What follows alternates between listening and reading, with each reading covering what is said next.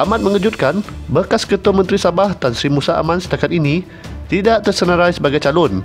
Begitu juga seorang lagi pemimpin AMNO Sabah, Datuk Sri Abdul Rahman Dahlan, bekas menteri di Jabatan Perdana Menteri juga tiada dalam senarai calon.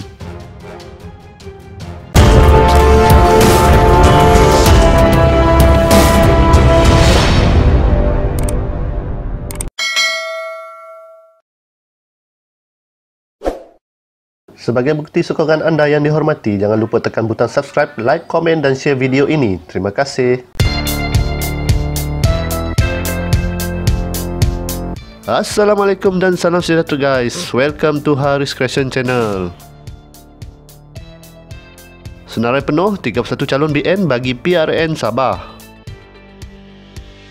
Barisan Nasional BN mengumumkan akan bertanding 31 daripada 73 kursi Dewan Undangan Negeri Don Sabah pada pilihan raya negeri yang dijadualkan pada 26 September ini. Pengurusi BN Sabah, Datuk Bung Mokhtar bertanding di Don Lama. Amat mengejutkan, bekas Ketua Menteri Sabah Tan Sri Musa Aman setakat ini tidak tersenarai sebagai calon.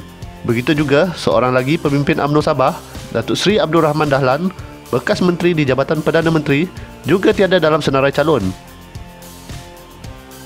UMNO meletakkan 95% muka baru serta menampilkan dua calon wanita pada pilihan raya negeri kali ini.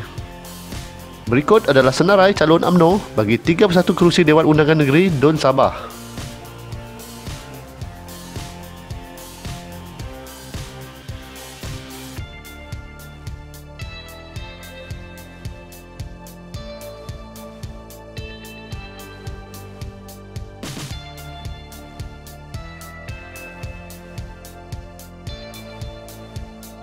Bung Mokhtar berkata, calon yang dipilih adalah dalam kalangan yang terbaik dan diyakini mampu memenangi kerusi di kawasan masing-masing.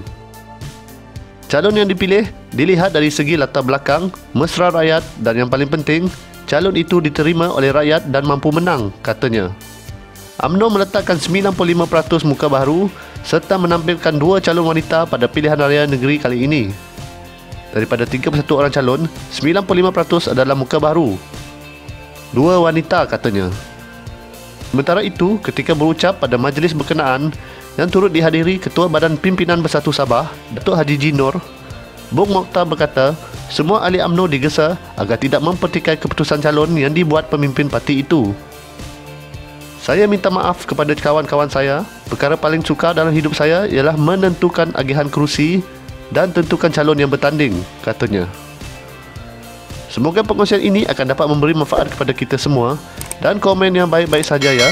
Serta jangan lupa untuk subscribe channel ini kerana subscribe itu percuma ya. Terima kasih.